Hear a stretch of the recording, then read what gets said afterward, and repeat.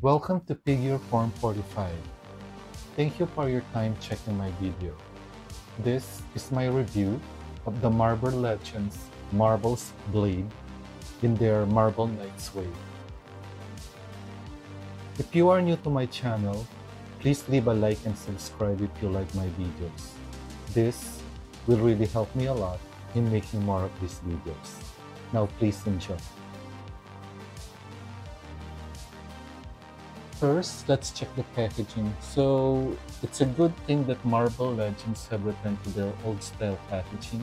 At least now, we can see the figure that we are actually buying before we, you know, pay for it. So at front of the box, it says Marvel Knights, Marvel's Blade. So this is actually part of the collectible wave for the Mindless one, which, to be honest, at, at, at this time, I only buy Marvel Legend figure that I like. I I no longer collect their Build-A-Figure wave unless there's a hobby shop in my area that sells the Build-A-Figure wave separately. But I, I, I'm not really that interested with this character, so in this set, the only one that I like is actually Blade and Daredevil. Daredevil, I already have a video on it, and now uh, Blade. Uh, I've, I've had a hard time getting Blade, that's why I know that it is late for me to review this, but this is really actually a figure that I've been wanting, and I'm glad that finally I was able to get my hands on it. So that's the packaging. Now let's unbox this.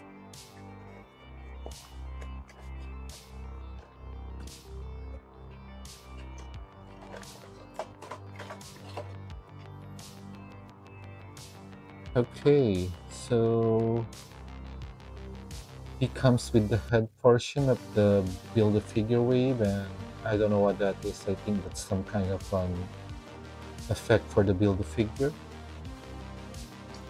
Now at first look, I like the I love that he comes with a lot of accessories and an alternate hand, which is, let's be honest, it's very rare for us to get on the Marvel Legend right now. Okay, so it's been a while since we last had the Blade figure, and I can say that this new uh, version that Hasbro's given us is a pretty good one. I like the design. I love that uh, I like that they chose the, the version wherein he's wearing a trench coat.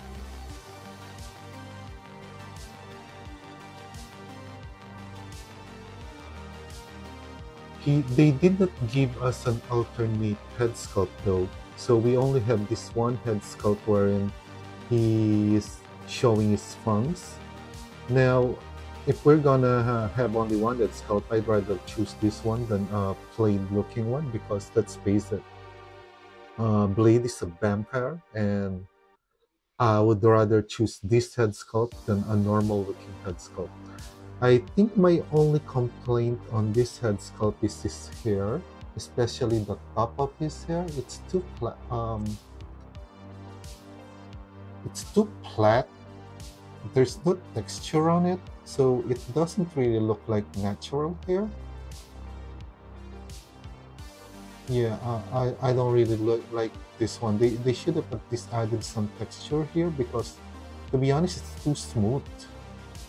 So it doesn't look like an, like hair. It's it looks like he's wearing some cardboard cup or something.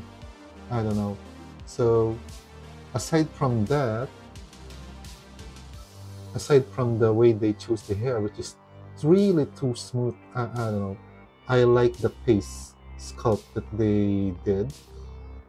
It is sculpted perfectly and painted perfectly and yeah I, I like this look I like this look for Blade so let me just show you the sculpt the whole sculpt of the figure I'll be honest guys I'm not that updated with Marvel Legends anymore so I'm not sure if there are any reuse on this one because as I told you, uh, I don't really buy that much Marvel Marvel Legends. Um, I only select the ones that I like, and this one got my attention. And so far, as far as the sculpt and paint, I think it's perfect. So as far as the build a figure part that he that is comes with him, it is the head and this effect part. I'm not sure if, if that's what it is. Yeah. So yeah. I, I, I, I'm not really that interested with this build a figure. It looks like a rock that is smoking or something. So aside from the default closed fist that is on him, he has this weapon holding hands. And of course, what's a vampire hunter without these wooden stakes? So he comes with two of them. I forgot what these weapons are called, but I remember uh, in the Blade movie, Wesley Snipes using them like a boomerang blade or something like that. Anyway, it comes with two of this. And the sword, which to be honest, I'm not really that impressed with this sword. It looks like a generic one.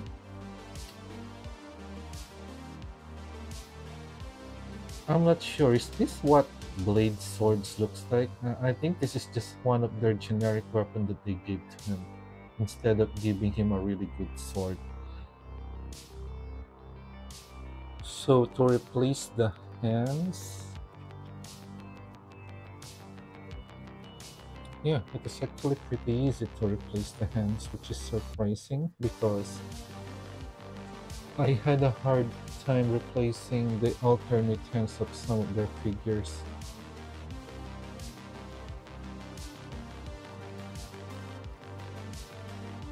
So the way he holds the sword is pretty firm, so that is a good sign. Okay, just kidding. It's actually pretty loose. I mean, just look at that. Let's try the other hand, which I think it's gonna be the same.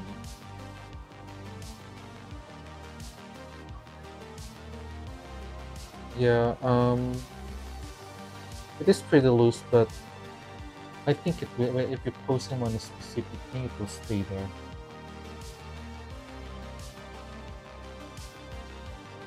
Yeah, so that's okay. As for the wooden stake, yeah, you can, hold them.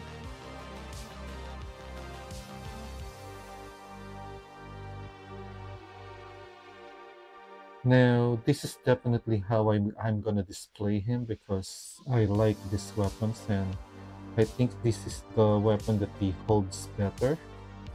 And for this sword, which as I said is not really that impressive, I'm just gonna put it here.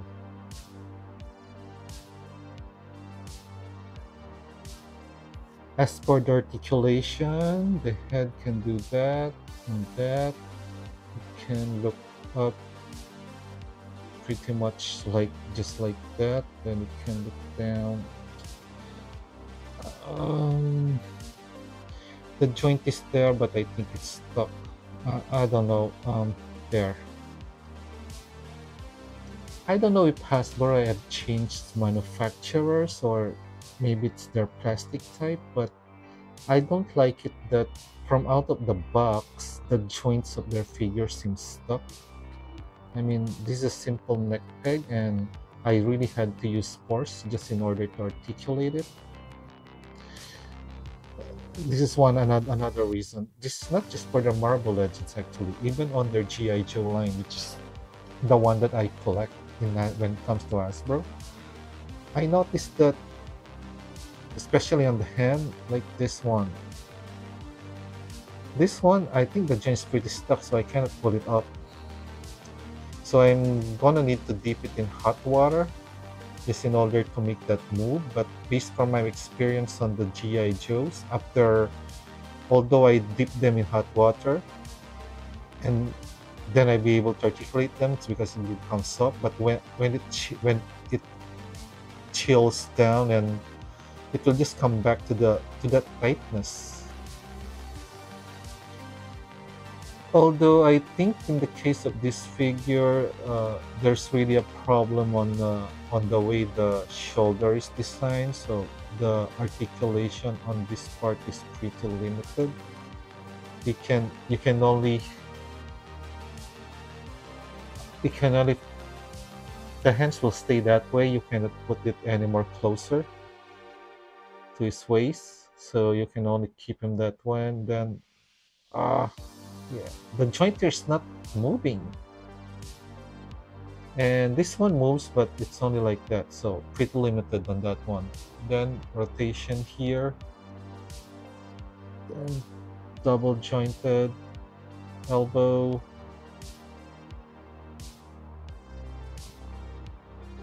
And articulation here yeah.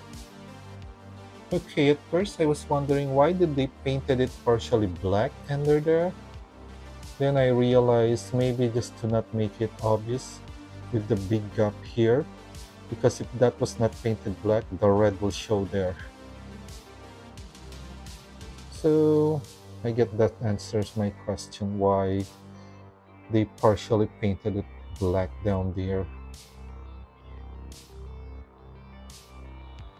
Anyway, for the ab, yes, an up crunch, which can go down back there. Uh, the transport will be in the way, so I cannot lean him back anymore. But it, it's possible. And then the sword will be in the way. Okay.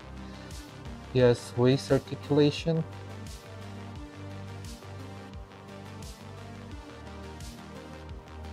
High swivel, double jointed,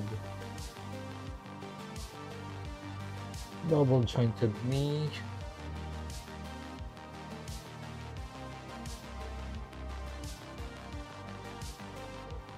ankle,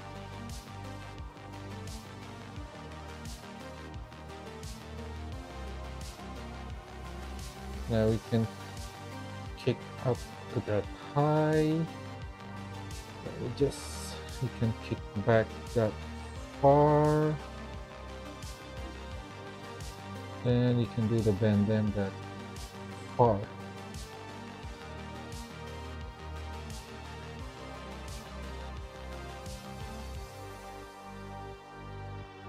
Then there's also a cut there for additional articulation now for some size comparison, here he is with Spider-Man. Here he is with Wolverine.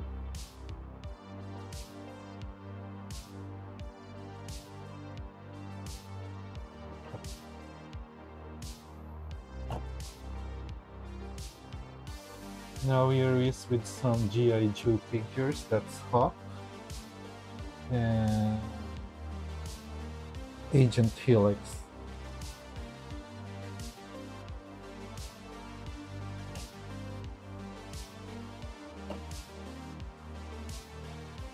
Then here is with my favorite Joe Shipwreck. And here he is with Cobra Commander. So I hope that gives you an idea on how big he is. Overall, this is a good Blade figure. I think Hasbro did a good job putting this all together as far as aesthetics is concerned because yeah, this definitely looks good. My really problem is yeah, the joints. As I said, it's not a problem that I only have in this figure but most Hasbro uh, that you can't you can't you can't even make it do a simple T account. Sorry T pose this one somehow moves like that so I think that's just the range of this articulation. But this one is pretty much stuck. So I'm gonna need to heat it up in order for that thing to move, which, as I said, based on my, my experience with their G.I. Joe lines, you'll be able to heat it up, move it, but when it cools down, it will come back to the original tightness. I don't know if it's on the plastic that they're using now or because they changed manufacturer and the way they connect is just not that good, but I think that's a common problem on all of Hasbro's figures that they need to take a look into because yeah, I, I'm really having a hard time posting their figure right now because of that tightness. It's not that good tight, it's more like they're stuck. It's like they're, they're stuck that you really have to use force in order for the for it to make a simple T-pose work. Good thing that in this one, it is not a problem on his leg, on my on the late on the late on my latest purchase of their GI Joes, even the leg connection here was pretty hard to move. That I really need to heat it up. So Hasbro need to look at that problem. But anyway, going back to this blade figure, just the head sculpt alone, to be honest, is enough for me to buy this. I just really don't like that that is so smooth. It's like he's wearing a cup instead of that's a hair or something. But as far as the look, as the vampire look, yeah, that is Blade. So thank you guys if you reached this part of the video and at least somehow I was I'm able to help you in deciding if you want to have this figure. So thank you and take care of yourself.